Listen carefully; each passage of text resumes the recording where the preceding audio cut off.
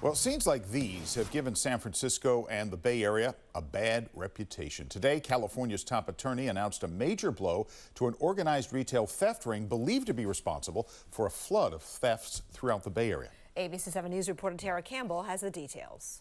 Let's be really clear that we um, are not talking about one-off shoplifting incidents. Attorney General Rob Bonta announcing charges Wednesday against three suspects believed to be leading a retail theft ring across the greater Bay Area and beyond. These are um, primary actors, among the primary actors in, in uh, the, the, planning and the preparing and the, the conduct involved. And uh, so we think they are, they are very important charges that we're bringing. The suspects are being charged with nearly 50 felony and 10 misdemeanor counts, including organized retail theft, second degree burglary, grand theft, and vandalism. Often in the middle of the night, the suspects uh, generally donned dark clothes, masks, and gloves um, to break through security doors and security gates.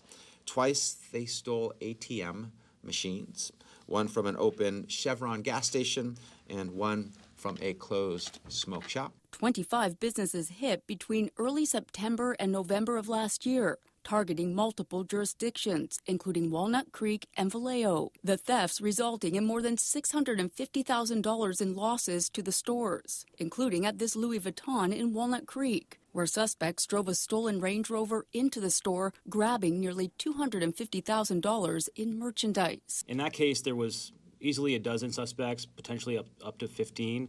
Um, and we know this because we responded within a minute of the alarm activation at Louis Vuitton. Our officers were on scene um, as the suspects were fleeing. Walnut Creek's police chief crediting technology like automated license plate recognition, known as ALPR, with helping to track down the suspects. Using technology is is very um, you know beneficial in investigations. Uh, ALPR is some of that technology you talked about and um, fully supportive of it. And with communities across the Bay Area, most recently San Francisco and Oakland, looking to implement these technologies, the Attorney General is weighing in. I am generally supportive of uh, technology as a tool to assist law enforcement when balanced appropriately with privacy. Tara Campbell, ABC 7 News.